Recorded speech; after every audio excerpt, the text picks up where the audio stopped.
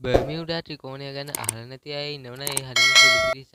ඇමරිකාවේ ෆ්ලොරිඩා තුඩුවත් පූටෝරීකෝ දූපතත් බර්මියුඩාවත් යා කරමින් රේඛා තුනක් ඇන්දොත් ඒවායින් ආරම්භ වන ත්‍රිකෝණාකාර කලාපයට තමයි බර්මියුඩා ත්‍රිකෝණය කියන්නේ. දෙවන ලෝක යුද්ධය වැනි ඈත කාලයක ඉඳලම මේ ප්‍රදේශය හිතාගන්න බැරි අමුතුම කාලගුණික විපර්යාස වලටත් ගුවන් යානා බෝට්ටු සහ නෞකා අතුරුදහන් වීම් වලටත් නම් දරා තිබෙනවා. බර්මියුඩා ත්‍රිකෝණයට යක්ෂයාගේ ත්‍රිකෝණය කියලා නම් තබා තියෙන්නේ මෙන්න මේ නිසයි. බර්මියුඩා ත්‍රිකෝණයේ සිදුවෙන්නේ කුමක්ද යන වග මෙතෙක් කාලයක් මත පළ වුණා. දිස්ත්‍රි කාලගුණික විපර්යාස, වර ඇතිවන මහා දියසුලිය ආදී ස්වභාවික දේ ගැන වගේම මේ පිටසක්වල ජීවීන්ගේ ක්‍රියාකාරකම් පවතින බවත් ඇතුළු තුම පැහැදිලි කිරීම් බොහොමයකුත් මේ වෙනකොට මත පළ වුණා. එසේ වුවත් මේ කිසිවක් හරියාකාරව තහවුරු කර ගැනීමට හැකියාවක් පැවතුනේ නැහැ. ඒත් අද වන විට මෙයට කාටත් පිළිගත හැකි විද්‍යාත්මක සාක්ෂි සහිත පැහැදිලි කිරීමක් තිබෙනවා. විද්‍යාඥයින් රැසක් එකතු වී මේ ප්‍රදේශයේ කාල ගණනාවක් තිස්සේ ඇති වූ කාලගුණික විපර්යාසවල චන්ද්‍රිකා ඡායාරූප විශ්ලේෂණයට ලක් කිරීමෙන් තමයි විසඳුම ලබාගෙන තියෙන්නේ. වසර 70කටත් වඩා කාලයක් පුරාවට කාටත් අභිරහසක්ව පැවතුණු බර්මියුඩා ත්‍රිකෝණය ගැන හෙළිදරව් වූ ඒ කතාව තමයි අද අපි මේ වීඩියෝ එකෙන් කතා කරන්න යන්නේ. රැඳිලා ඉන්න විශ්ව ගවේෂකත් එක්ක මෙම වීඩියෝව අවසානය තෙක්.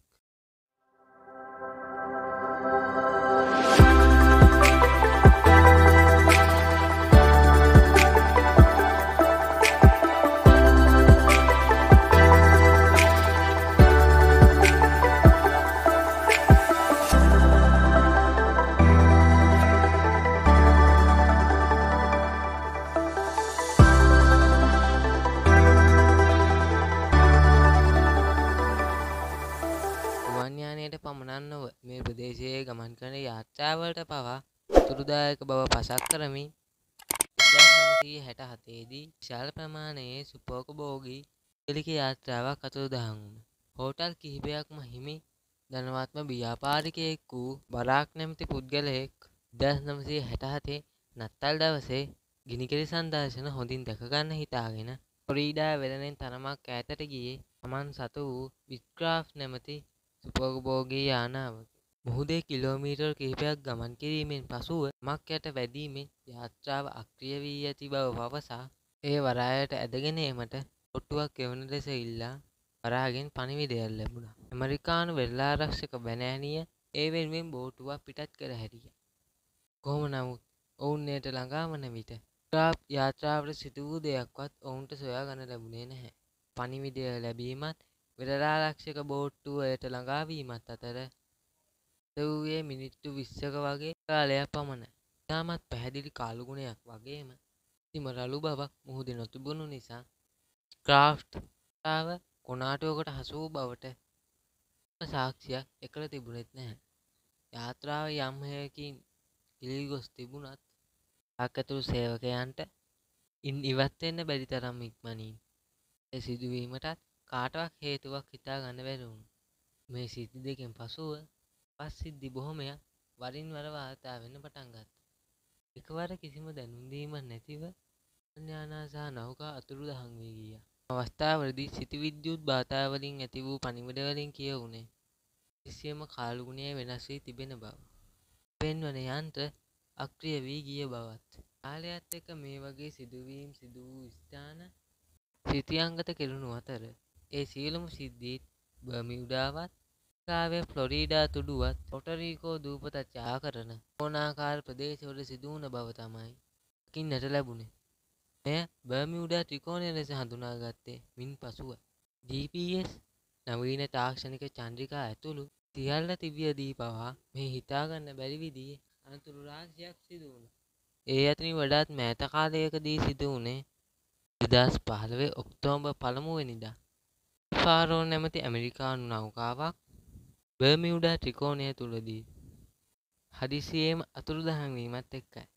බර්මියුඩාවේ සිදු වූ දේවල් ගැන ඇමරිකාවේ කොලරාඩෝ විද්‍යාලයෙන් පරීක්ෂණයක් ආරම්භ වූ අතරට ලොව වටා විද්‍යාඥයින් රැසක් රැස් වුණා.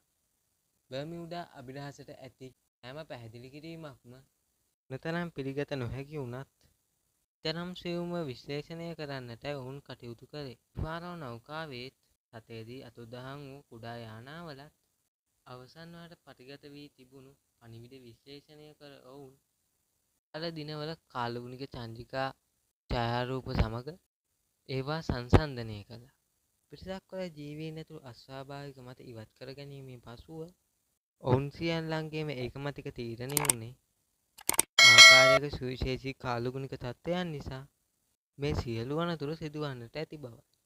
යනුව කාලයක් පුරාවටම මේ ප්‍රදේශයේ කාලගුණික තත්ත්ව විශ්ලේෂණය කර බැලූ ඔවුන්ට මුතුම විදිහේ වලාකුළු හැසිරීමක් දකින්නට ලැබුණා. වෙන කොහෙදිවත් දැකගත නොහැකි විදිය ෂඩාස්ට්‍රාකාර වලාකුළු සැකැස්මක් තමයි පෙනෙන්න තිබුණේ. කිලෝමීටර් 20ක සිට 55ක තරම් දැවැන්ත විස්කම්භයක් සහිතව කාලයෙන් කාලයට මේ අමුතු හැඩය කාලගුණික ඡායාරූප බොහොමයක එක ගන්න ඔවුන්ට පුළුවන් වුණා. බර්මියුඩා ත්‍රිකෝණයේ අතුරුදහන්වීම සිදුවූ හැම දිනයකම වගේ එවැනි තත්ත්වයක් දැකගන්න ලැබෙන බව ඔවුන් අවසානයේදී සොයාගත්තා. සාමාන්‍යයෙන් වලාකුළු වලට දාශ්‍රයක් වගේ ඍජු සහිත හැඩයක් ලබා ගන්න කිසිසේත්ම හැකියාවක් නැහැ. නමුත් මේ නියමය යම් හේතුවක් නිසා බර්මියුඩා ත්‍රිකෝණයට බලන පාන බව ඔවුන්ට දකින්න ලැබුණා.